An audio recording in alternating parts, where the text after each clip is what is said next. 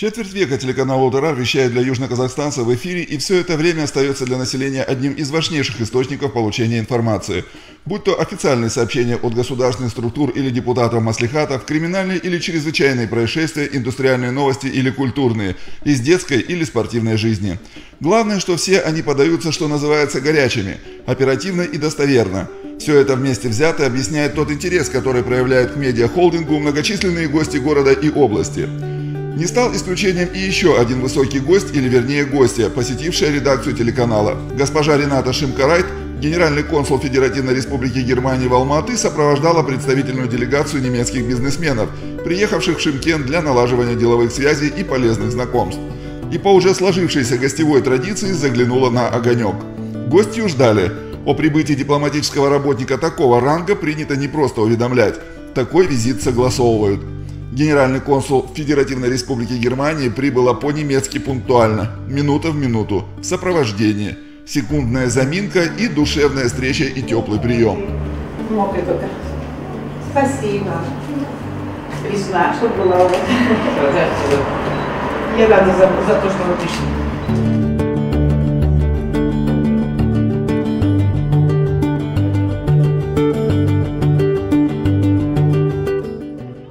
Понятно любопытство с немецкой стороны и приличествующие место вопросы о создании и ведении бизнеса, территории вещания и количестве охватываемого телевизионным сигналом и газетами населения. Это, это на казахском языке пускаем. Эту пускаем 10 тысяч, эту 8 тысяч. Hoch ist da die Auflage? 10.800. Месяц. В области только мы распространяем, в республике не распространяем. У нас работает 120 человек. 120 Personen beschäftigen wir. 120 человек. 120. Да, да, поэтому и кормить и поить надо. Muss У man нас, jetzt- у нас есть три Wir сайта haben своих, Drei Sites, Websites. которые вся республика смотрит. Äh, Das ist äh, ganze У нас есть своя вышка и свой передач. Вы пока не... Для генерального консула Германии в Алматы информация о вышке телевизионном передатчике не праздные слова, наполненные непонятным техническим содержанием. До начала дипломатической карьеры доктор Рената Шимкарайт защитила диссертацию и жила в Бейруте. И по полученным профессиям является политологом, экономистом, специалистом по исламоведению, плюс независимый журналист.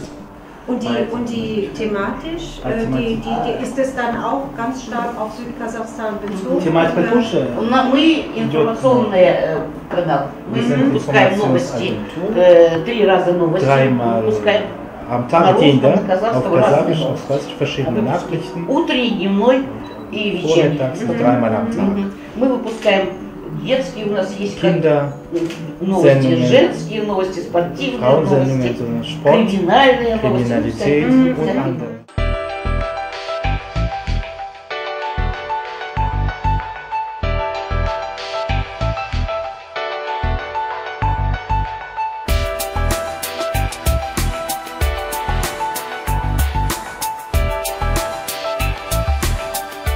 Была небольшая экскурсия по холдингу, в ходе которой госпожа Шимкарайт хоть и сносно, но говорила по-русски. И уж точно неплохо понимала обращение к ней на русском языке, но предпочитала пользоваться услугами переводчика. Статус генерального консула предполагает однозначное толкование ею сказанного. А за плечами доктора Рената Шимкарайт работа в течение нескольких лет генеральным консулом Германии в российском Екатеринбурге. Да и перечисление мест работы госпожи генерального консула говорит о широком кругозоре и большом жизненном опыте. Посол Германии в Акре, столице Ганы, руководитель отдела экономики в посольстве Германии в Турции, заместитель посла в посольстве Германии в Сенегале, руководитель отдела прессы и экономики в посольствах Германии в Иордании и Китае.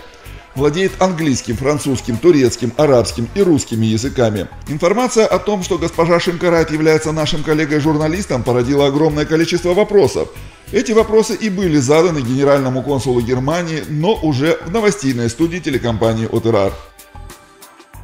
Вы впервые на юге Казахстана. Что вас заинтересовало? Что, возможно, удивило? Ja, wie Sie schon gesagt haben, ich bin zum ersten Mal hier Да, я здесь впервые. До поездки сюда было очень любопытно, что же за регион будет меня встречать. Здесь у нас была плотная программа, которую мы завершили практически в течение двух дней. Интерес прежде всего связан с тем, что же представляет из себя Шимкент в экономическом и культурном плане. Мы также были заинтересованы в поисках возможных партнеров для членов нашей делегации. У нас была встреча с Акимом Южного Казахстана, которая прошла плодотворно и чему мы несказанно рады. Я была удивлена и нахожусь под большим впечатлением впечатлением от визита сюда. Всегда где-то в подсознании витает вопрос, когда готовишься к такого рода поездкам, что можно сделать, чтобы найти надежных партнеров, что можно сделать, какие предложения можно получить и что мы можем предложить Шимкенту. Сфера интересов генерального консула очень широка и разнообразна, но это экономические и культурные связи. В первую очередь, если говорить об экономике, которая определяет, что вас заинтересовало по посещению Шимкента. Äh, Для меня лично было интересно и важно понять, как выглядят экономические структуры в области и в Шимкенте, какова экономическая ситуация. А так как мою делегацию представляют люди из разных областей с разными интересами, то для меня был важен поиск надежных партнеров по бизнесу для членов делегации. Мы посещали различные фирмы, в том числе и цементный завод Шимкента. Наша программа была интересной и многосторонней. Äh, Для меня было удивительно констатировать тот факт, что в южно-казахстанском регионе по сравнению с другими регионами Казахстана имеется очень большое количество средних и мелких предприятий. В Германии большое количество малого и среднего предпринимательства, кстати, является основой экономики. Это предпринимательство является очень креативным, с большим потенциалом, и это сказывается положительным образом на общей экономической ситуации. Нужно сказать, что Чемкент и Южно-Казахстанская область вообще э, на фоне всего Казахстана является наиболее из перспективно развивающихся. Ну а по количеству э, предприятий или предпринимателей малого и среднего бизнеса, которые находятся здесь, именно на территории Южно-Казахстанской области, наш регион лидирует в республике. Поэтому ну, связи, возможные потенциальные связи, допустим, Южно-Казахстанской области и с Германией, они бы были очень перспективными. Но единственное наверняка то, что что необходимо нашим предпринимателям, это, конечно же, обучение и финансовая грамотность. Но это с моей журналистской точки зрения. Aber das gilt, äh, das gilt eben grundsätzlich für kleine und mittelständische Unternehmen. Это является общим и для Германии важно и актуально, потому как дипломаты должны заниматься со своей стороны содействием демократическому и экономическому развитию, потому что средние и мелкие предприятия являются ограниченными в своих средствах и ресурсах, и эта помощь им будет весьма кстати. Когда у малого и среднего предпринимательства нет возможности открывать большие офисы и заниматься большими проектами, наши усилия направлены на то, чтобы оказать им поддержку и совместно работать. Южно-Казахстанская область, помимо э, большого промышленного потенциала, имеет еще и культурный потенциал. Это очень важная составляющая часть нашего, ну можно сказать, портрета нашей области. Э, в Южном Казахстане сосредоточено самое большое количество археологических, исторических памятников в Казахстане. У вас есть в планах посещения наших святынь? Да, это была ошибка, которую я сделала. В Алматы я не знала, что можно посетить здесь такие исторические места. Эти два дня я находилась только в Шимкенте, но в следующий раз обязательно приеду, чтобы посмотреть на них самолично. Как вы считаете, э, вы представитель немецкого народа, который славится своим ну, наиболее активным образом жизни, который является одним из самых активных путешественников. Что необходимо сделать Казахстану для того, чтобы привлечь немцев сюда, именно в туристические поездки, и, простите меня, для того, чтобы немцы оставляли здесь значительную часть своих денег? Wir sprechen jetzt von den Deutschen, die aus Deutschland hierher kommen könnten als Touristen, richtig? Вы говорите о тех немцах, которые могли приехать из Которые Германии. могли приехать из Германии, да, конечно. Also Äh Может быть, я выскажу свое мнение, другие могут думать иначе, но я думаю, что надо больше сопровождать людей, больше предлагать поддержку, не только в организационном плане, но, может быть, и в языковом плане. Вы видите, что я тоже хоть и говорю по-русски, но не так свободно, поэтому туристы, которые приезжают сюда, они интересуются культурными поездками, поездками ознакомительными, не только в Шимкенте, но и в окрестностях. Люди мало знают, у них нет достаточно достаточно информации. Должен быть такой сервис, все в одном. И организация, и языковое сопровождение здесь были бы весьма полезными. Мы будем надеяться, что вы являетесь вот той первой ласточкой, которая, ну, проложит путь сюда вот тем немцам из Германии, чтобы они с огромным удовольствием, я в этом уверен, посмотрели на наши исторические памятники. Это будет действительно очень интересно.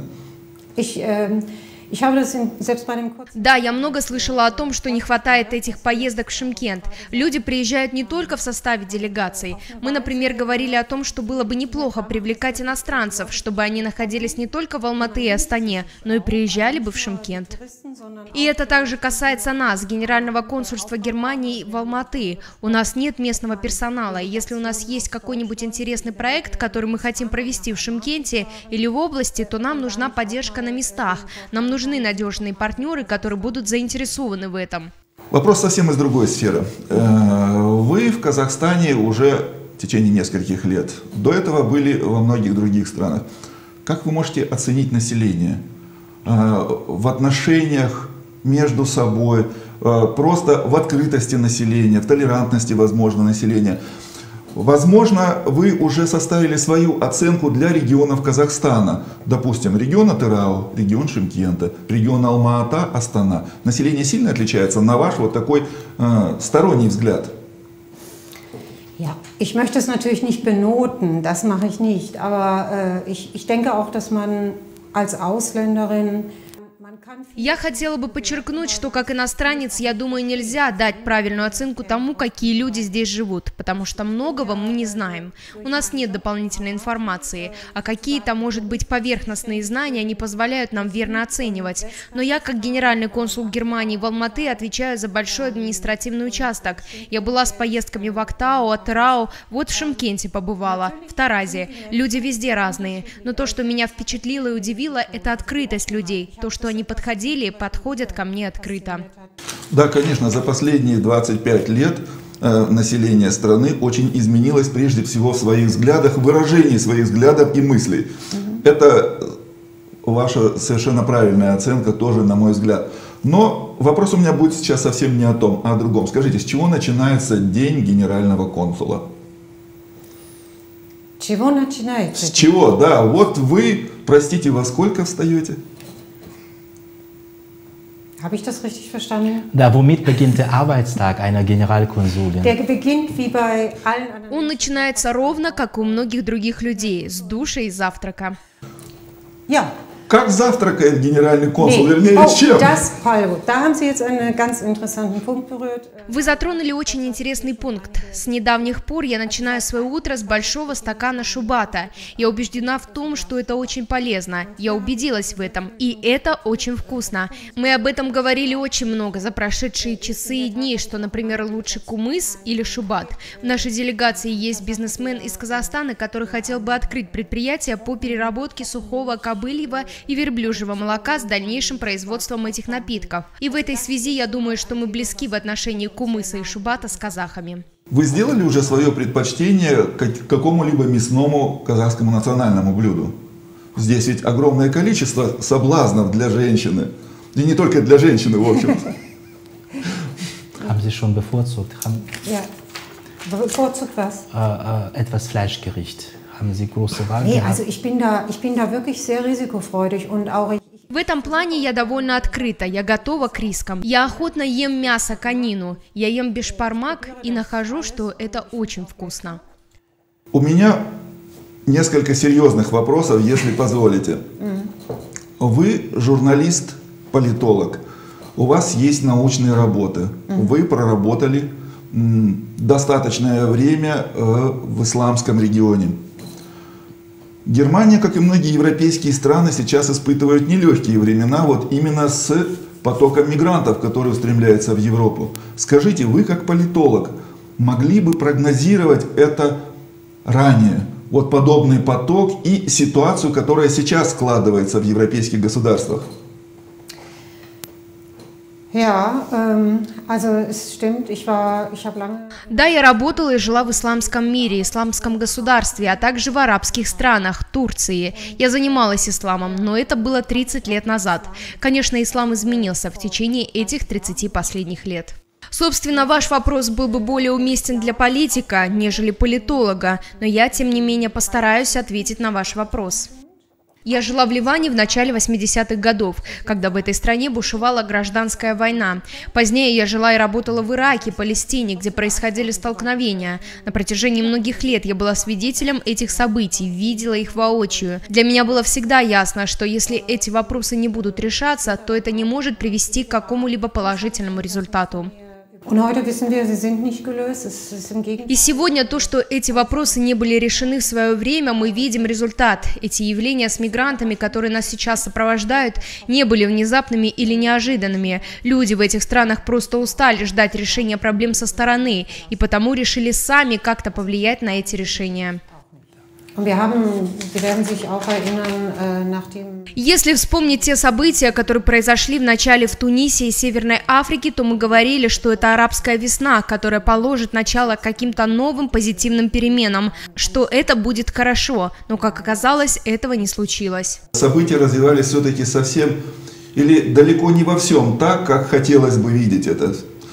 И к этому э, скажите, насколько в Германии мы просто не всегда же имеем полную информацию, поэтому бы хотелось спросить, вот проникновение в большом количестве исламской диаспоры э, на территорию Европы вас, как политика, вызывает все-таки у немцев какое-то какое настороженное чувство?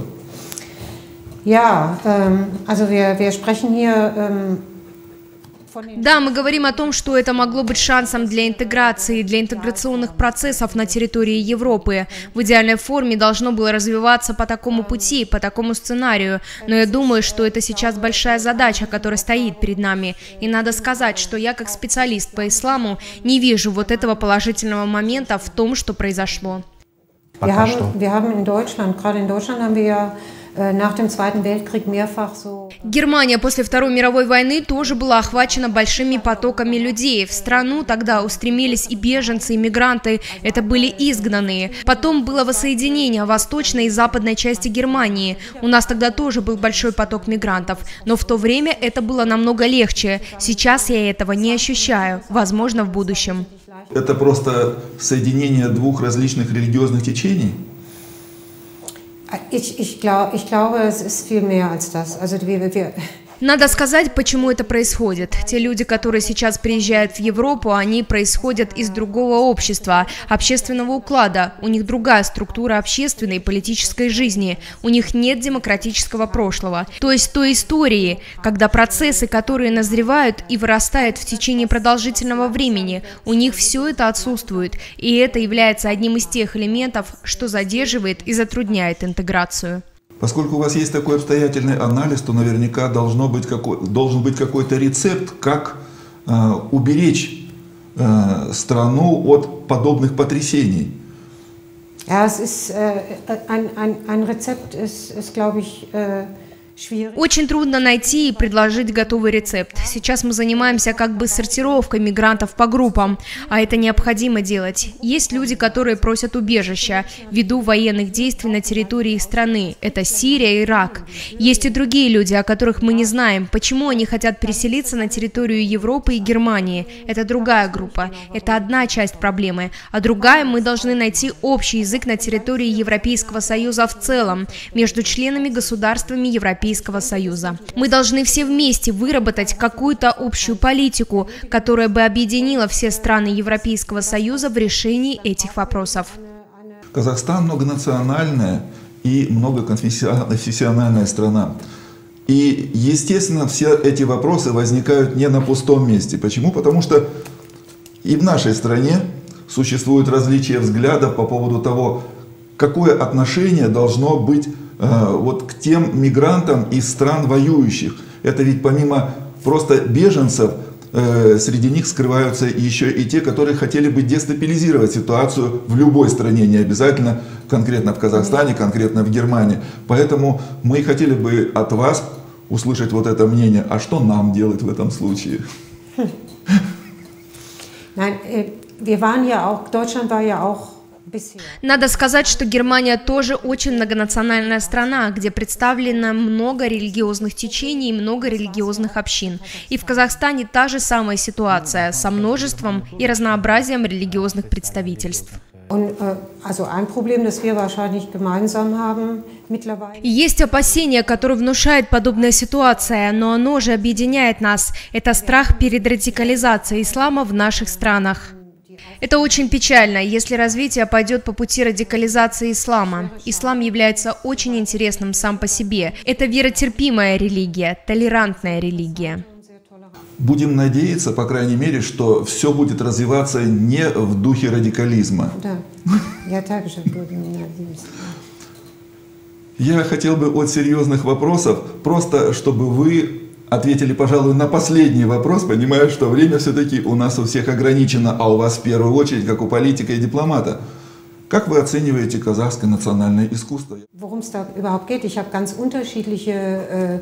В первую очередь я хочу сказать, что я присутствовала на очень многих мероприятиях, которые рассказывали об искусстве Казахстана. Это и традиционное искусство, это был и авангард.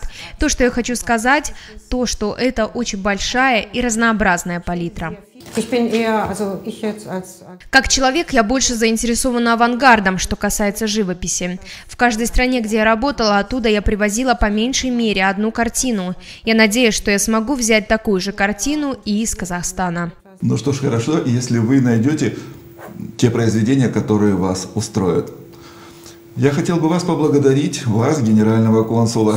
Германии в Казахстане, за вот это обстоятельное интервью, ну и пожелать удачи. И второе, хотелось бы, чтобы контакты между Германией и Казахстаном ширились. Это, я думаю, послужило бы нашим обоюдным интересам. Спасибо вам. Спасибо вам. По завершении поездки в Шимкент генеральный консул Германии в Алматы госпожа Шимкарайт прислала руководству телекомпании «Одерар» письмо, в котором благодарила за приятные впечатления от знакомства и выражала надежду на интересное, плодотворное и взаимовыгодное сотрудничество в будущем.